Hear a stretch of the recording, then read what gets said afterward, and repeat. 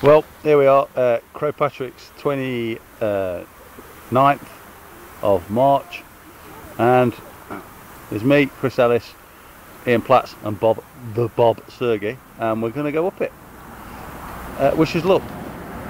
Bye.